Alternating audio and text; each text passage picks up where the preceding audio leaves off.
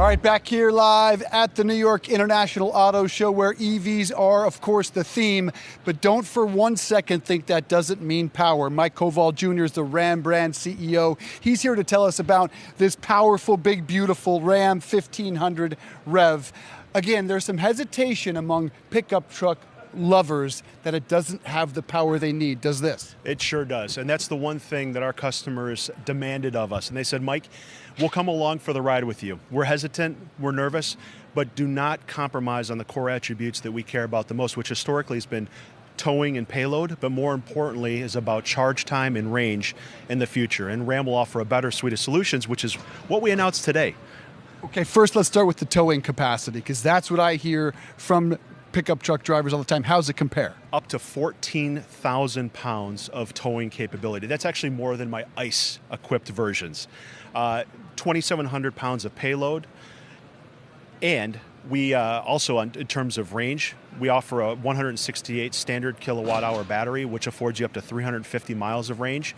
But if, if range is really your, your primary uh, purchase reason, you can opt up for the 229 kilowatt hour battery pack, which affords you up to 500 miles. And that appears to be the real moat, if you will, between this and its nearest competitors. Yeah, that's and that's what we've heard. We've heard that the, a lot of range anxiety, especially while towing, and we think Ram has been able to push past what our competitors have announced today. But I will tell you this: as good as these numbers are, we're not done yet. We also confirmed today that we will, shortly after the Ram 1500 Revolution launches next year, we're going to introduce a Ram 1500 Rev XR for extended range version, which will offer even more class-shattering range than what we've revealed today on the pure battery electric model. You care to tell us what that range is? I would love to, and I will do so very soon. Okay, what about sticker price for the Rev 1500? A little bit closer, a little bit closer to when we get on uh, to, to when we start production. But suffice it to say, I, like you, I'm a consumer as well. Uh, there's a big elephant in the room. The cost of electrification is very real. Uh, but in my view, in my humble opinion, if we're not creating electrification that's available to the masses, I'm not really sure what we're doing.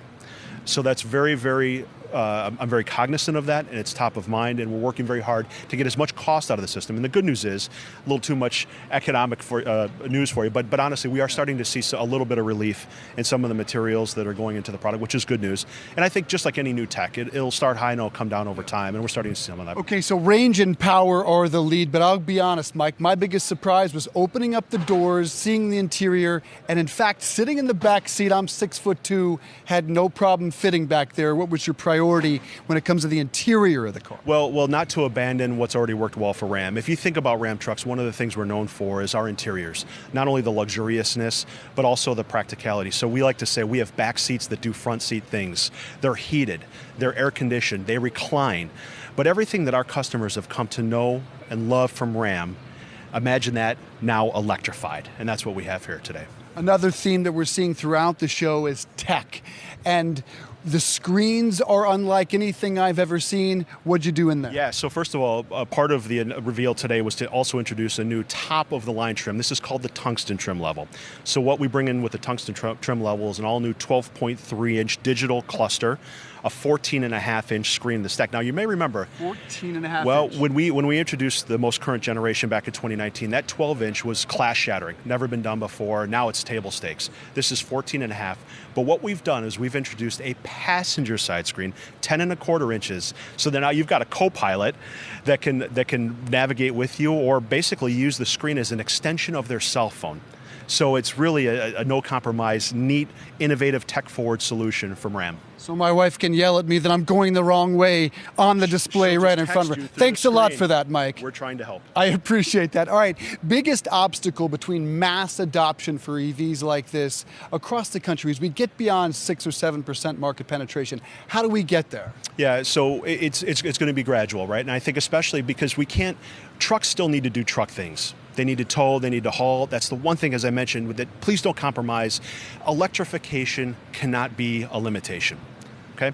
And so, provided we stay true to those roots, we will bring our customers along with this on this journey. I don't expect this to change overnight, but I will say if you look at the adoption projection through the end of the decade, our internal projection is actually more bullish than that, believe it or not. So we're, we're all in, and I think this is the Ram 1500 Rev is the first signal that Ram is in. It's middle America that buys the most pickup trucks, which is probably where the weak spot is in terms of charging infrastructure. How fast is that changing, and how far do we have to yeah, go? I, I think for sure it's still an issue. But if you think about where how far we've come in such a short period of time, now you have private money. I, I think you're going to see incremental leaps and bounds with respect to the infrastructure, uh, charging infrastructure in, in, uh, across the country, not just in major cities, but across the country. Uh, and it, I, so I, I, think we're going to get there faster than you think. For sure, it's a concern. We're working on it with many of our partners as well to help make things a little bit, I would say, less friction. Yeah. We, that's that's what we're trying to remove because there's a lot of concern about range out there. But um, but I, I, think you're going to find that it's going to uh, rapidly improve. I've never taken the plunge into an EV, but a pickup like this, I think just might do it. Mike, good to see you, sir. Good to see you. Thanks Thank so you. much, Mike Koval Jr., Ram Brand CEO. We'll be right back after a short break.